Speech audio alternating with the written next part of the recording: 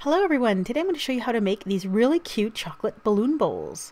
Starting off with some wax paper on a cookie sheet. In this case, it's I'm using a cutting board because I'm only making a couple of them. You'll need some balloons and grease the balloon up with a little bit of vegetable shortening or some butter. This will help release from the chocolate once the balloon bowl is finished. These balloons are small. They are like the water balloon size. So first take a teaspoon of melted chocolate. I'm using candy melts here. And just make a small circle about two inches in diameter. This is going to be the base for the bowl and it's going to help keep it from tipping over once you've finished your bowl. Then dip the balloon in the chocolate. Now if you have a nice deep bowl of chocolate, you'll be able to dip it straight up and down instead of having to tilt it from side to side like I'm doing now. But because I only made two of them, I didn't want to melt a big container of chocolate.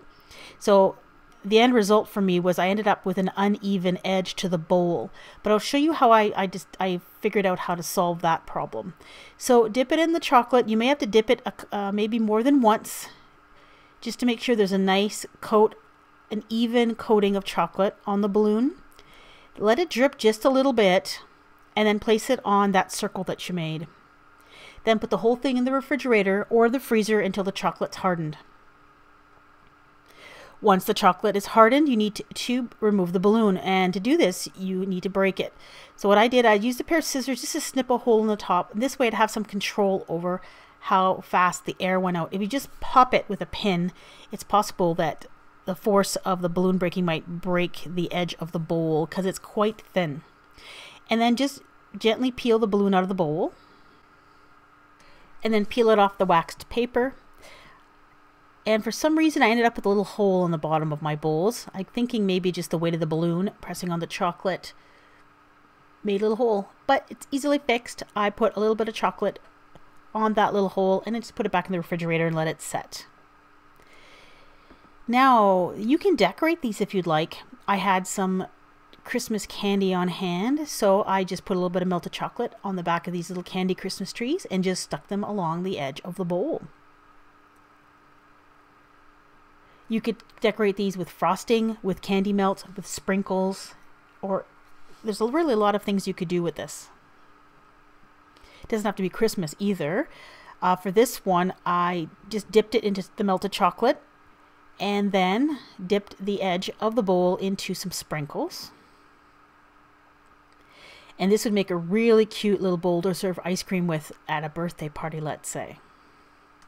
Now you'll notice here that I'm holding the bottom of the bowl with a piece of waxed paper. That's to keep the heat of my fingers from melting the chocolate and to avoid leaving fingerprints in the chocolate. It just makes for a prettier bowl if there isn't someone's fingerprints in them. Then put that in the refrigerator and let it harden.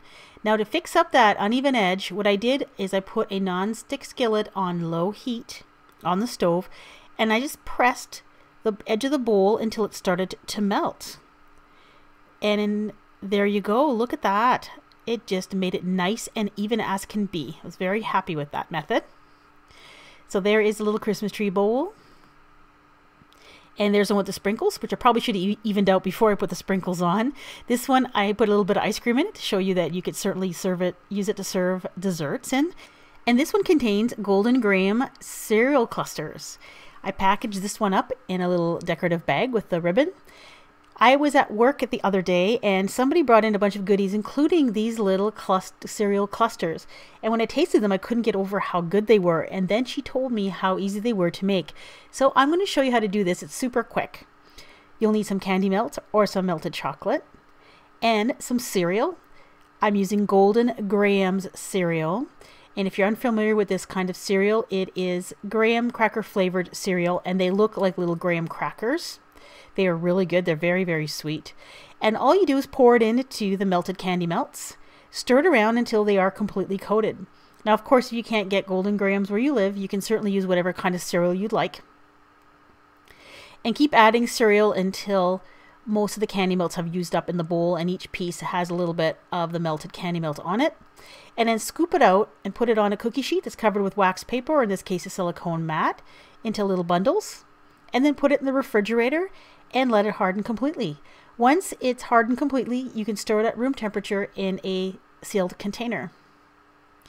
And you know, they're remarkably good. So simple, but, but quite good. So these will make an appearance alongside of all the other cookies I've made this year.